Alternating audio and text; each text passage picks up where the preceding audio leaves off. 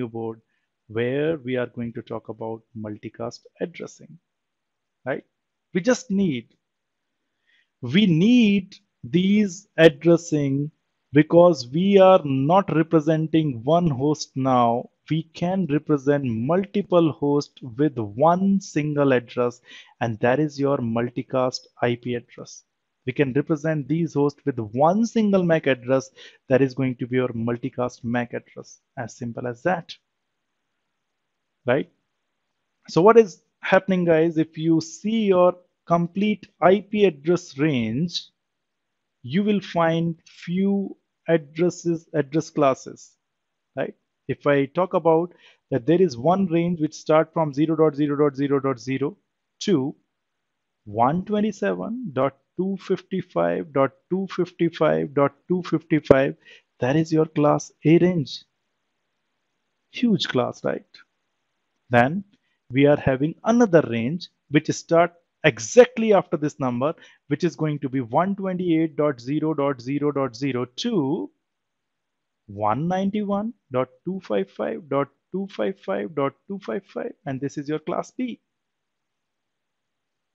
The class C start from exactly after this number which is going to be your 192.0.0.02 223 right? Dot 255 dot 255 dot 255 and most of the time we network engineer deals with them.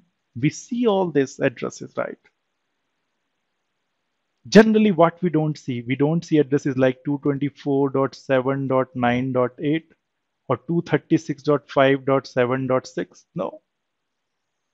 But believe me the range which starts from 224.0.0.0 to 239.255.255.255 right? This is exactly your magical address range or multicast address range.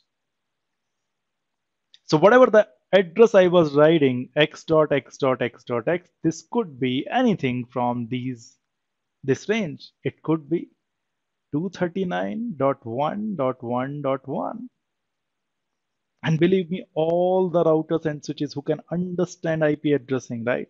They understand that if I am, if they are receiving a packet which wants to go to 239.1.1.1, they will treat it as a special address because it belongs to a special class of addresses.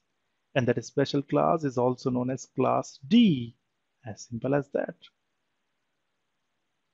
The important fact is all the addresses in this class are starting from this binary number. The binary number is 1, 1, 1, 0. I'm talking about this octet, right? IP address is 4 octet and that is why we have these four different numbers, right? This is my first octet. So all the multicast addresses starts from, if I talk about binary, then this octet will be having eight binary numbers. And out of these eight binary number, the starting four are also always going to be 1110. You don't believe? Let's check it, right? Suppose I'm talking about the starting numbers. You know that uh, multicast range start from 224 and it goes to 239. You all know about it, right?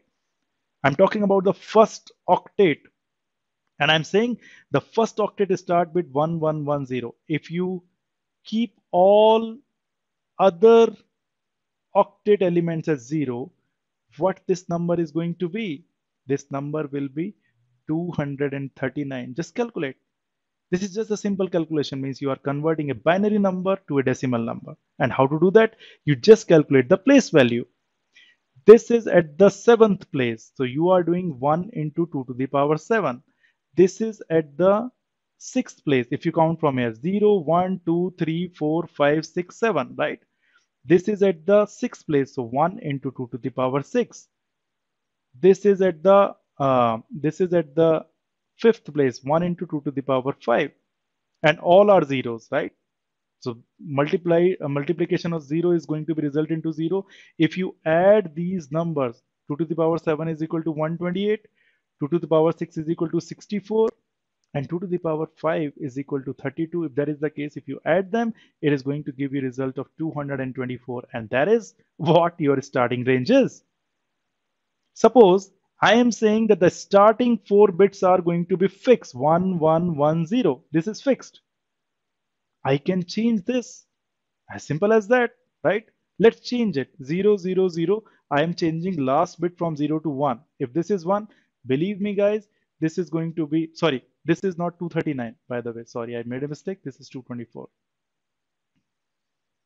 okay and suppose if I change this 0 to 1 what is going to happen? Now this will become 225 because you all know from here to here these were 224 and if I add 1 to it it is going to be 225 as simple as that. If I do here 1 0 0 0 right? And this number is fixed the next number is going to come as 226 and it will go to if I make all as 1 1 1 1 0 if you calculate this this will be resulting into 239 as simple as that. I never do such kind of calculation in binary number. If I'm doing it there is a specific reason behind it. Right? You will come to know about this reason in my next class, believe me. I do not want to confuse you, but this much should you should understand that the multicast range is from 224 to 239. And if you go at the bit level, it always starts with triple one zeros. As simple as that. These are your magical multicast address. So now the question comes, as I mentioned, you are not going to do the ARP to know the MAC address for a corresponding IP multicast address. Suppose you have an MAC uh, IP address as 239.1.1.1. You want to send your packet to this destination address. If you are sending your IP packet to this destination address, what should be the MAC address?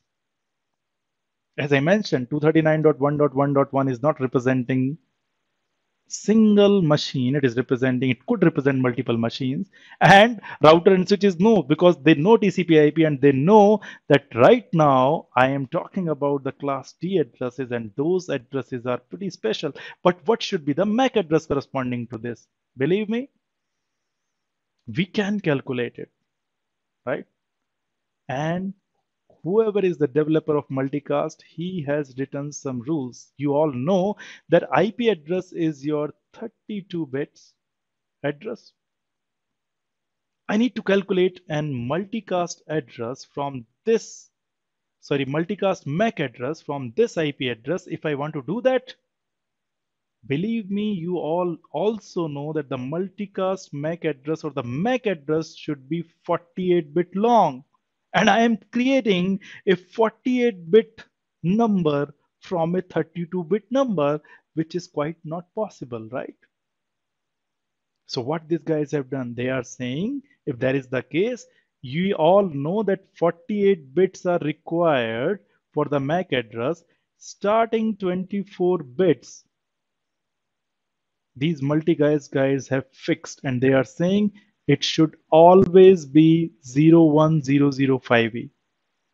So 01, 00 and 5E should be the starting 24 bits. And now you must be thinking, Mr. Vishnu, are you joking? Where are the 24 bits here? So I am saying this is written in hexadecimal system. In hexadecimal system, one character corresponds 4 bits. So here we have 4 bits, 4 bits, 4 bits, 4 bits, 4 and 4. If you add them, these are going to be 24, right? You can convert hexadecimal into binary also. Use calculator, use anything, but you can convert them. I just, I am just interested in making a 48 bit MAC address. So they say starting 24 bits are fixed the multicast MAC address should start from this range as simple as that. The next one bit is always zero. So we are done with the 25 bits. Right? How many remains? remaining are 23 because 25 plus 23 is 48 so they are saying last 23 bits you can take from the IP address very very interesting right and last three bits are which one if I convert this 239 1.1.1 into uh, uh, bits so this one will be transformed into 0 0 0 0 right and then 0 0 0 1 0 0 0 0 0 0 0 1 this one will be here then the next 0 0 0 0 0 0 0 1 although I can convert 239 also but I need to take only 23 bits. So these are the 8 bits these are the 8 bits and here I have another 8 bits but I will take only 7 because 8 plus 8 16 16 plus 7 23 so I will take 23 bits of IP address and if I combine them it is going to be, give me a 48 bit results as simple as that. On next page I have actually written this right? This is my multicast IP address. Special address. It represents a group of hosts. We have 239 which can be converted into binary. As this 1 1 1 if I want to write the MAC address what it is going to be? It is going to be 0 1 0 0 and 5e these are representing my starting 24 bits. Please do convert into this bits notion right? The next 25th bit is going to be 0 according to the rule whatever they have made right? And the last 23 bits are going to be from here to here and not this one. Calculate it and you are going to get it. Believe me I haven't finished this discussion yet, but I want to stop this discussion on IP addressing right now because you then you must be thinking that there is too much of mathematics going on, Mr. Vishnu, and that's true in not our native language, which is decimal number. You are always uh, today you are talking everything in binary. Actually, I have to, right? And that is why I do not want to discuss more mathematics, but there is still a catch in this. Right? And that is one of the most important catch. So I will give you one day to actually, right, process this information, whatever I just said you, whatever I just told you, right? And tomorrow or whenever our next class is, I will be letting you know what is that catch. Although right now I have made sure I have made sure that if you have an IP address which is a multicast address you can convert on your own that address to multicast MAC address. As simple as that right? So we have some information about layer 3 multicast address. We have some information about layer 2 multicast address. As simple as that right? Now, as I promised that I